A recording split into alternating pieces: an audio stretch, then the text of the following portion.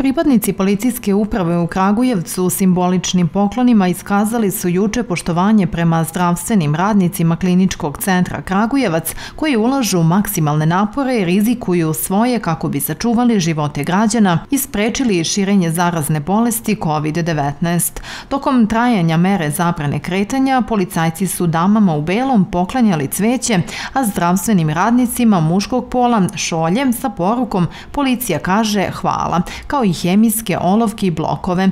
Na ovaj način policajci su želeli da pruže podršku i iskažu zahvalnost zdravstvenim radnicima.